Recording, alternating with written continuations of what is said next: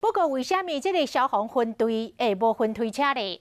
高雄市消防局的资料，高雄有五十队的消防分队，三十台的分推车，所以并不是每一个消防分队拢会当分配到分推车。都爱当地有较侪大楼、关楼，才会分配到这个分推车。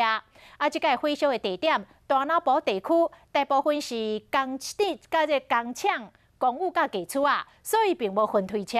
另外，消防队嘛出面来澄清，讲这个救灾并无延误甲疏失。